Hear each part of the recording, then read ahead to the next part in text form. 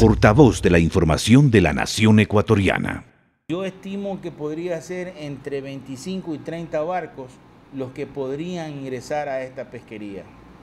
Ahora, esta pesquería tiene grandes ventajas. Esta pesquería, primero que es un recurso que lo tenemos, que, es un recurso que lo tenemos, es un recurso que se ha estado pescando incipientemente, no es que es, eh, estamos descubriendo nuevas pólvoras, lo hemos estado capturando incipientemente. Eh, es un recurso que está ahí, ya una biomasa de más de 200 mil toneladas que pueden servir muy bien y están sirviendo para consumo humano directo. Eh, en este proyecto experimental, comercial, fuera de las 8 millas, los barcos tuvimos, hubo que adecuarlos, hubo que adecuar las redes, hubo que adecuar los sistemas de frío. Eh, una de las, de las condiciones es que tengan eh, BMS o DMS, es decir, tienen podemos nosotros monitoreamos todos los días. Sí, todos los días se, hace el tracking de las embarcaciones donde se encuentran.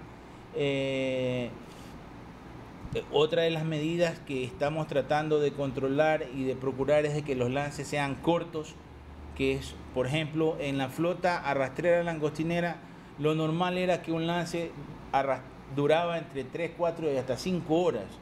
En este caso, como queremos merluza fresca, merluza para consumo humano directo, eh, los arrastres en su mayoría no superan la hora y media de arrastre. Con eso... Eh, están trabajando normalmente entre 16, 22 y hasta 28 millas y tal vez más fuera de la línea de costa. es decir, ahí el tema de la, de la zonificación de las 8 millas no, no, no entra, no entra. Otra de las cosas interesantes es que llevamos ya más de 160 viajes, más de 160 viajes.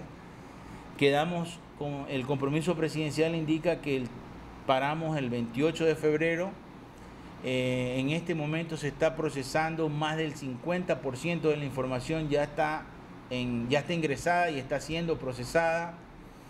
Eh, otra de las cosas que ya encontramos en los primeros resultados es la relación merluza-fauna de acompañamiento.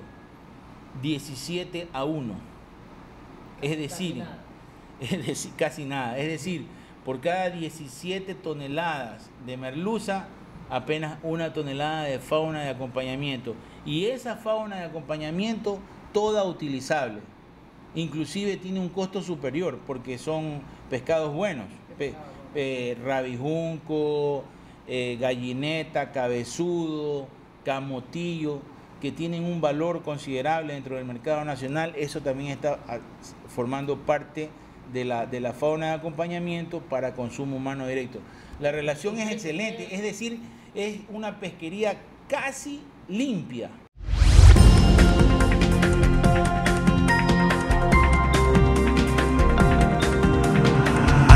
Portavoz de la información de la nación ecuatoriana.